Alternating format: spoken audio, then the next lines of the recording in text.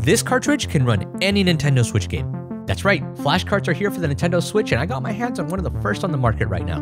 Best part is, they work on any Switch, yes, even brand new unmodded ones. So I'm gonna show you how this works, what's different, and why I think this little cartridge is honestly gonna break buying used games forever.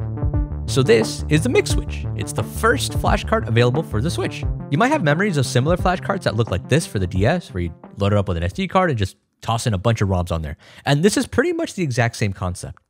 Hey, hi. Before we get into the video, I need to clear up a few things, okay? Like, no fancy lights, no fancy cameras, none of that. Just me, iPhone, and you, and just some things I have to say. Okay, so Nintendo has a bad reputation of taking honest discussions like this down, so just to be safe, I'm not gonna be talking about any sort of piracy in this video. No illegally downloading things, none of that.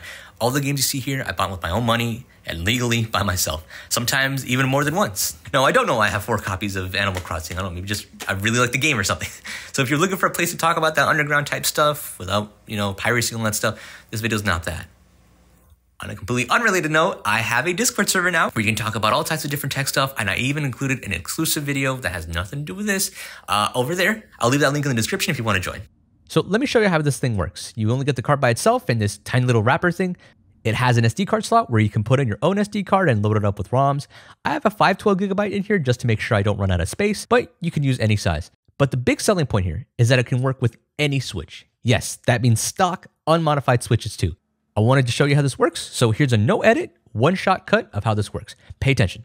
So this is my stock OLED Switch. This thing has never been modded other than the blue shell, and I even took out the SD card to prove that there's no custom firmware installed. I place in the MIG switch, and sure enough, there it is, booting up just like any other cartridge. Pretty cool, right? The crazy thing is, online seems to work too. Here's me in a multiplayer match connected to online, and since this is my own copy, and the MIG switch is only emulating the copy that I own, there seems to be no problems. And that's kind of the big thing here, is as long as it's your own copy. So you gotta dump your own games to make this work.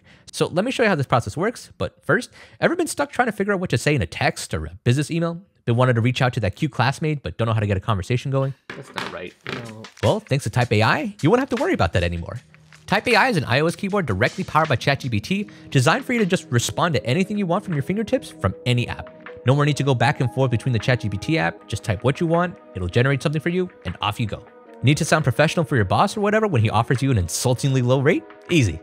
Your buddy's going through a rough time but don't know what to say? Nah, who needs social skills anyways? Type AI's got you. Or what if you need some quick ideas for a date that you totally remember to have planned? Ah, you're so good at planning dates, look at you.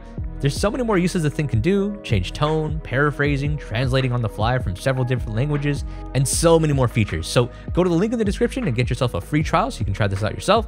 And thanks to Type AI for sponsoring this video so we can keep making fun videos like this.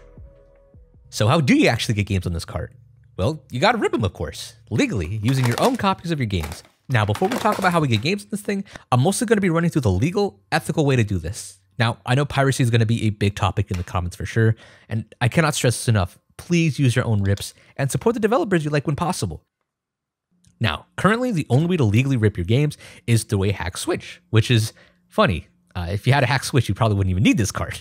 Uh, they are releasing a USB dumper tool that could hook up to your computer without the need of a hack switch, but I don't think this is a great idea, and I'll explain why later on. But for now, yes, the main way people are going to be ripping their games is with the hack switch. If you have a buddy that's really into this stuff, go ask him or her to help you dump your cartridges. Odds are they'll know what to do. Now, because Nintendo has a sniper pointed at my living room window, I can't exactly show you how to do this on the modded Switch, uh, but just know that for a full rip of a cartridge, you need these five files. Once you somehow obtain these five files, you can toss them over to a PC and drag and drop them over using the MIG Switch's SD card. If you have a cart rip like this that has like a separate folder in there that has like part one or part two or part three in it, uh, what you can do is copy the name of the XCI file exactly, uh, make a new folder with the exact same name, then drag and drop everything into that folder. Uh, the MIG switch should be able to detect it. Then you can pop the SD card back into the MIG switch, toss the whole thing back into your switch,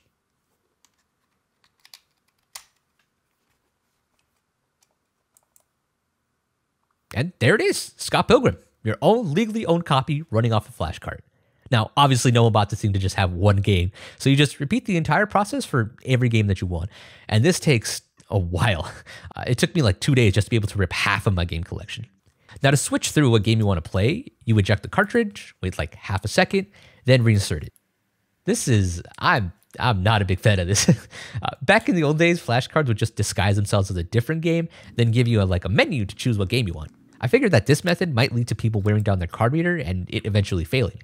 Plus, what happens if you have more than like 20 games on this thing? Do you really want to sit there cycling through 19 times to get to the game that you want? That's going to do crazy damage on your card reader. Now, don't get me wrong, it's not particularly hard to replace your card reader. I've done it before, but uh, the people that are buying this are probably not comfortable taking apart their one and only Switch.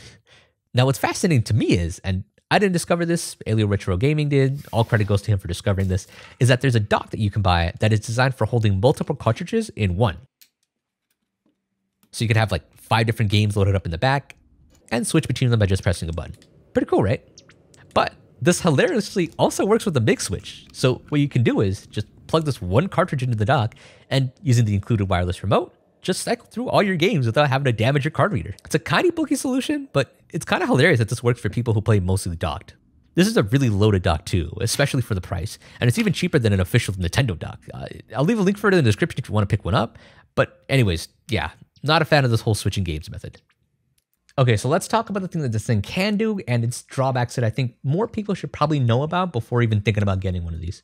Now, first, it's important to understand the two most common file types for Switch games, or the, the ROMs, I guess, XCI and NSP. NSPs are Nintendo submission packages. These are what are uploaded to the eShop, basically digital copies of the game. Forget about these, don't use these. These will not work on any MIG switch, and even if you manage to find a way, 100% chance of a ban. Straight up loading one of these, insta ban. And XCIs are cart files, literally the files that are put on every Switch cartridge. These are unique to every single Switch cartridge, and as long as they have the certificate and all other files, uh, they should work just fine on this cart. As of now, any XCI should work perfectly as long as it has all the proper five files needed to run. If that's all I want to do, great. MIG Switch works exactly as the original cart. Oh, hey, last minute update, but I forgot to mention that I've been able to use the MIG Switch to update my games that are on the MIG Switch, and they've been working just fine. So if you were wondering about if you could update your game safely, so far I've had no issues updating my games. What it can't run, however, is any sort of homebrew apps, any modded apps, no custom firmware, none of that. It also can't be used for pairing any sort of update files for games or installing any DLC. So you rule that out as well. You can't use it to back up any games. Pretty much the only thing you're gonna be able to do with this thing is play backed up games. If you're hoping to use this as some sort of alternative for modding your Switch without any other work, uh, this isn't that. Uh, hard modding or just buying a proper V1 modded Switch will still give you so, so much more for your money, more features, more mods, everything you would want to run. I bring this up because while this never advertised itself as an all-in-one alternative to modding, people are still reporting the cart this way. And unfortunately, the creators behind this cart aren't really doing a great job to correct anyone. So now it falls on responsibility of viewers like me to explain that this only does one thing, cart rips. You're cool with that, awesome. But otherwise, that's all this thing is. This isn't anything new for people that are actually interested in modding or homebrew. Now, the big question, I know we're all thinking it, can this be used for piracy? Yes, but I will not elaborate any more than that. But you guys are smart. Now, I know a lot of people are probably wondering if something like this will get your Switch banned. And while I can't outright guarantee 100% no, you won't get banned because Nintendo can just decide to wake up tomorrow and just find a way, uh, I think it's important that you understand how Nintendo knows if a cart is legitimate or not.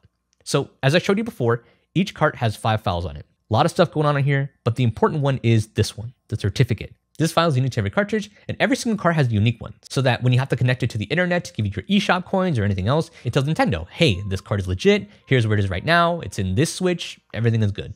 So because your rips are just moving with a certificate from one cartridge to the other, and the real card is just sitting in a storage somewhere, you're not connected to anything, theoretically, no rules are being broken, and to the Switch, it's just the same cartridge. So you're good.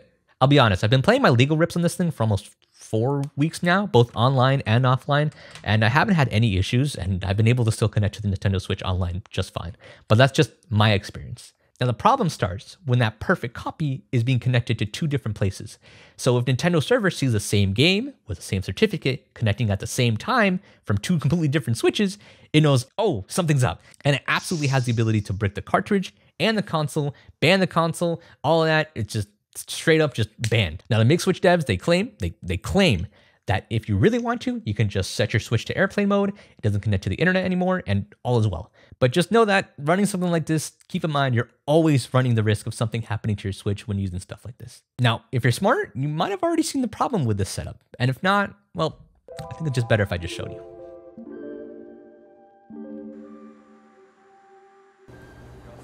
Okay, so I picked up Mortal Kombat for 22-ish dollars. You can see there, right there, GameStop right there. Okay, so the cart so far has its uses and it has its flaws, but something that I feel not many people are talking about is the implications that this flash cart actually has on the used gaming community. Let me try and explain. Okay, so this game is used, all right? I bought it with my own money. It's in my own hands, so that means legally I'm entitled to rip this and back this up properly. Okay, so I just finished ripping it onto my MIG switch, so now the cart is actually sitting on here instead of over here. But let's just say I'm a bad person. Let's just say my mom didn't love me as a kid. Uh, I don't care about getting banned or anything like that and I just want free games or whatever without having to think about it. So I'm gonna go and return this copy. Okay, so the copy's gone now, but I still have it in my MIG switch right here, which means I, I technically still have the game. So what happens to that copy that I just returned? It's gonna go right back to GameStop shelves, and eventually somebody else is gonna pick it up. They're gonna go home. Uh, we're gonna be playing the game at the same time, connected to the same servers online, and eventually their switch is gonna get banned, and my switch is gonna get banned, even though they had zero interactions with the MIG switch at all. Okay, let's flip the scenario around then. You decide to buy a used game from GameStop or Craigslist or OfferUp or anything else, right? You buy for it fair and square. You have zero interest in any sort of like hacking or modding or anything like that. You just want to do this the right way, the legit way. You pay for your game, you get home, you toss it into your Switch, and then realize your console just got banned. Not because you did anything wrong, but because the card that you just bought was already ripped and somebody else was already playing it. Do you, do you kind of see the issue here? Now, this is a small scenario, and I assume there's not enough interest in this card to even get that to happen, but this places a huge precedent if it's even going to be safe for people to buy used games anymore. Maybe people have to start listing their games as like verified, not ripped or something. Or Nintendo might stop using the certificate as a means to be able to figure out and verify if a game's legit or not, which I don't think it's going to happen, which means the more likely outcome is that Nintendo's just going to have a bunch of banned Switches walking around. Uh, it's really scary, honestly. I've just been thinking about this a lot, and I just feel like there's not enough people talking about the implications of what this might mean, not only for illegitimate users, but also legitimate users that are just trying to buy their games the right way. Okay, let's go back to the desk. Okay, continuity. Ooh, continuity. We're back. Okay, so who is the thing actually for then? You can't run any homebrew on it. Um, it costs just as much as just getting a proper modded Switch, and there's still no guarantee that you won't get banned. So what's up? Okay, for one, it's important to note that this was never explicitly labeled as a solution for super simple all-in-one modding alternatives. It's not. Its literal only function is to run backups of games. Although I still feel like the people behind this cart aren't really doing the best job of marketing it that way, honestly. And in that regard, I don't see it as a great value either, honestly. The MIG switch is $60. And since to do this the right way, you still need to get a cart ripper anyways for another $65, that means you're looking at $125, not including tax or shipping. And again, this only does game backups, nothing else. The reason I bring this up is because I've seen many other people in the LA area that do mod shipping services for switches for about 150 bucks. For $25 more, you can get infinitely more features of your Switch other than just backups. I'm talking emulators, capture cards, Android, game streaming, themes, overclocking, and on top of all that, you don't have to worry about getting banned. You tell me which one sounds like the better deal. Now, in spite of that, I still feel like there's a very, very small market that I think this thing is perfect for. And as long as this person is okay with like three main big things, I think that there's still people that are gonna buy this. So again, three big things that this person has to be okay with, okay? Number one, this person doesn't care about any modding stuff or custom firmwares. They just want to go out and play their legal backups. Now, some people just want a really simple, no frills way to be able to keep an entire game collection in one cartridge. Losing one of these, oh wait, where is it?